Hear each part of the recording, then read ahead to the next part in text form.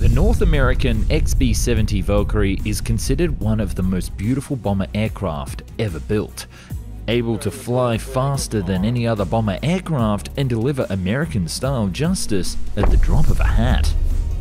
But the world doesn't need super fast nuclear bombers anymore. We can annihilate ourselves just fine with rockets. So, what if we were to turn this into a passenger plane?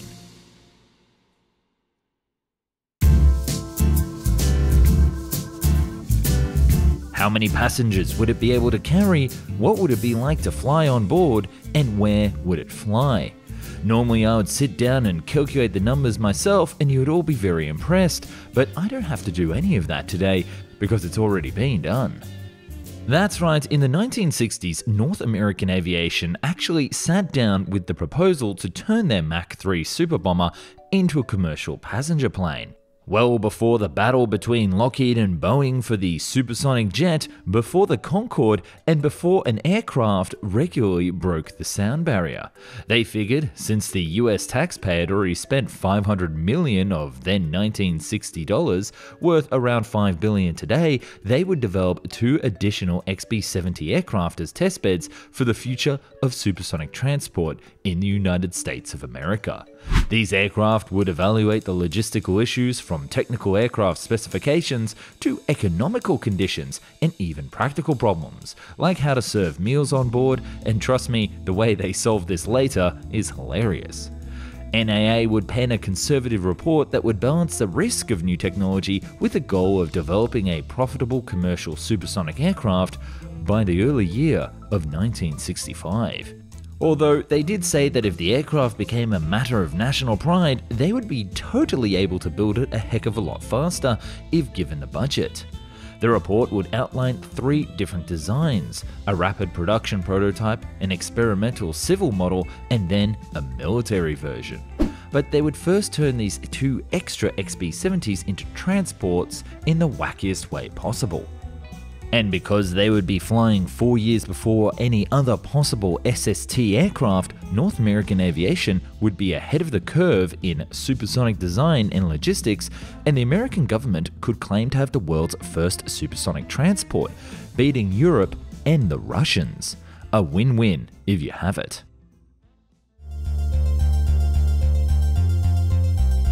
The first prototype XB70 would be an engine testbed. They would need to see these new engines under development for future SSTs that would be reliable enough for commercial transport. You can't have a plane knocked out because of engine problems. They would either mount it in replacement of two of the six engines in the XB70 or they would mount it underneath airflow considerations notwithstanding. It would retract during landing and takeoff into the weapons bay to allow the clearance to land. But it's the second prototype XB70 that is far more interesting. This one would be changed to carry passengers. The first concept was to see how many passengers they could fit on board without changing any of the fuselage. By removing the military electronics and the fuel tanks from the neck of the aircraft, they could fit in a passenger cabin with 36 seats in a 2x2 configuration. Although this cabin would be tiny, with only 100 inches in diameter, it would be smaller than most people would be comfortable with, with no windows either, a single bathroom at the back, and no kitchen. And remember that meal service? Well, it turns out that they realized that most flights would be so fast that there's no need to give people any food on board. They would just have dinner when they arrived.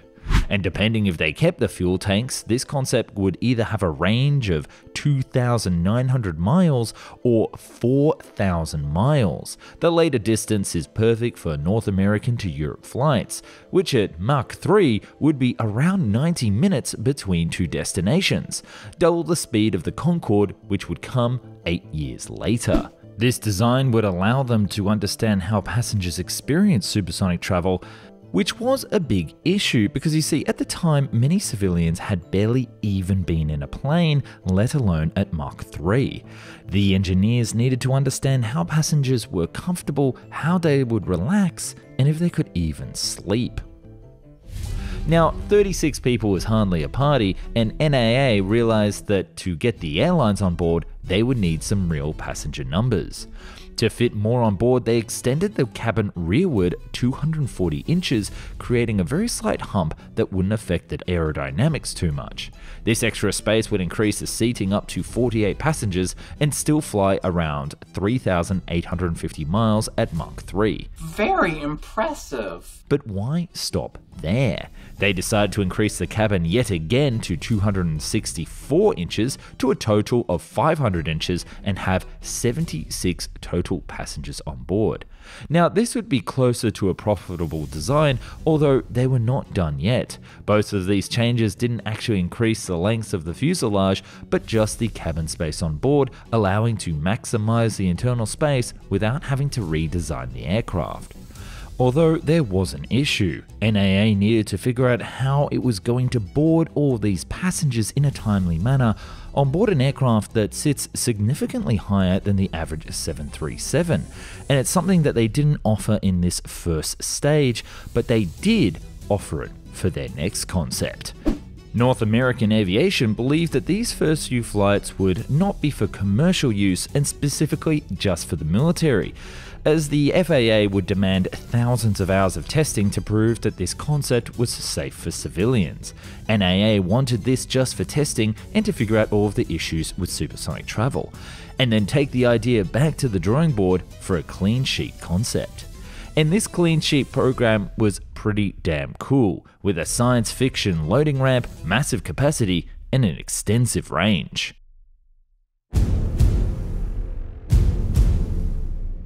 The engineers in the report figured if they were already asking the US government for more money to build an SST, they might as well add to the wish list with an impressive design. The resulting aircraft design had little resemblance to the original Valkyrie apart from the cabin.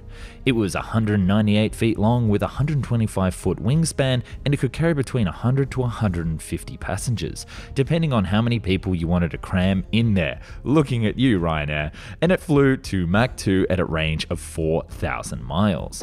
Now, that's a step down in terms of the speed from the Mach 3 military version, but they figured that it would be a lot more fuel efficient for the weight. It would also only require a 5,500 foot runway to take off from, which at the time was considerably quite long.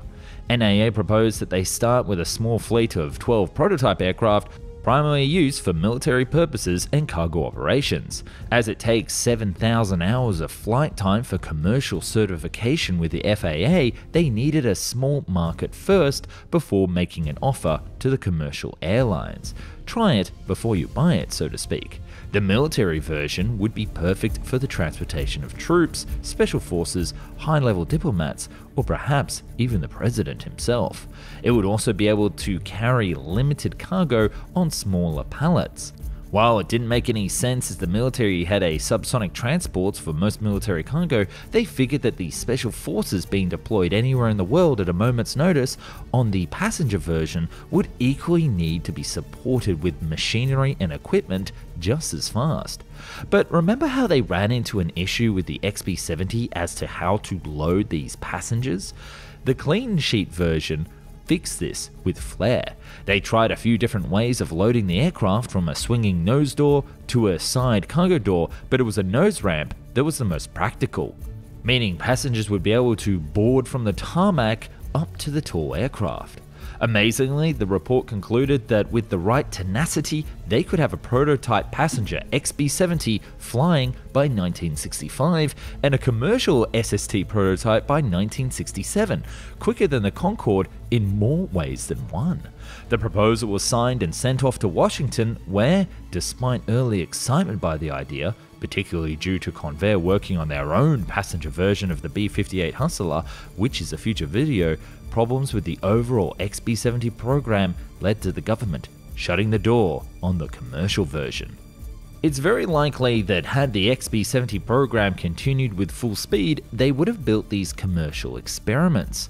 Alas, they would only end up doing some of the experiments with the XB70, namely the SST logistics with existing aircraft, but we never saw our passenger version.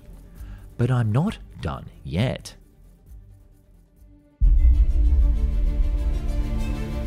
Now, I want to step back and offer a third option that the NAA didn't consider a private jet version of the XB70.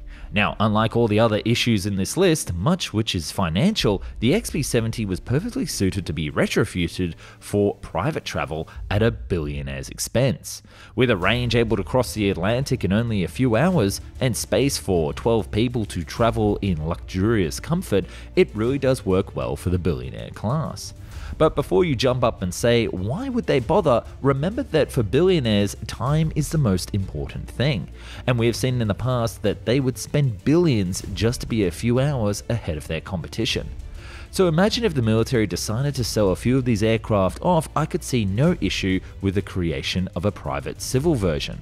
Practically, yes, but politically, it would be impossible. But you can see that the concept is sound and we have the technology, just not the will. If you want to see what other crazy designs that North American Aviation came up with for the Valkyrie, I've done a whole video here. They had one that could launch a space shuttle into space and another version made for spying. Much of this video is based off the research of Dennis R. Jenkins, who was published in Aerospace Projects Review. Go check it out, and I bet you'll have a great time hunting around some of the most fantastical concepts you've ever seen. But let me know what you think down in the comments, and I'll see you in the next video.